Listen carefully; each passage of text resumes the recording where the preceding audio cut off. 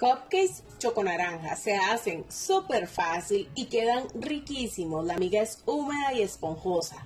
A la batidora llevamos 3 cuartos de taza de azúcar, media taza de yogur natural, un cuarto de taza de aceite, 115 gramos de mantequilla derretida, dos huevos y una cucharada de ralladura de naranja. Por otro lado cernimos una taza de harina, dos cucharaditas de polvo de hornear y una taza de harina de maíz doña. Yo utilizo la amarilla porque me encanta el color que da. Después de cernir, incorporamos al batido y está listo para que podamos mezclarle una taza de chispas de chocolate. De esta manera, suavemente para que se distribuyan por todo lado.